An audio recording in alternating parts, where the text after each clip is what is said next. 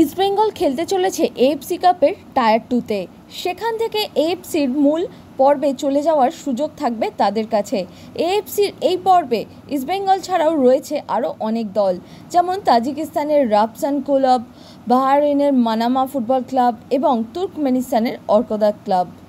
তাছাড়াও এই পর্বে জর্ডান এফএ লিগ এবং কুয়েত প্রিমিয়ার লিগ থেকে আসবে আরও দুটি ক্লাব। তুলনামূলকভাবে এই ক্লাবগুলো ইস্টবেঙ্গলের থেকে অনেক বেশি শক্তিশালী। বাহারিনের ফিফা র্যাঙ্কিং এখন ছিয়াশি। তাজিকিস্তানের ফিফা র্যাঙ্কিং নিরানব্বই আর ভারতের ফিফা র্যাঙ্কিং একশো একুশ। কুয়েত এবং জর্ডানের ফিফা র্যাঙ্কিংও ভারতের থেকে এগিয়ে। সুতরাং বলাই যায় যে এএফসি টায়ার টু ইস্টবেঙ্গলের জন্য খুব একটা সহজ হবে না। তবে ইস্টবেঙ্গল নিজেদের মতো করে প্রস্তুতি শুরু করে দিয়েছে। শোনা যাচ্ছে তারা সাউল ক্রেসপোর চুক্তি বাড়িয়েছে। পাশাপাশি এও শোনা যাচ্ছে যে আইএসএলে পাঞ্জাব এফসির হয়ে খেলা মেহেদি তালালকেও তারা নিশ্চিত করে ফেলেছে। তাছাড়া চোট সারিয়ে জর্ডান এলসে চলে এসেছেন অনেক দিন আগেই। হিজাজি মাহেরেরও চুক্তি বাড়ানো নিয়ে আলোচনা চলছে ক্লাবে।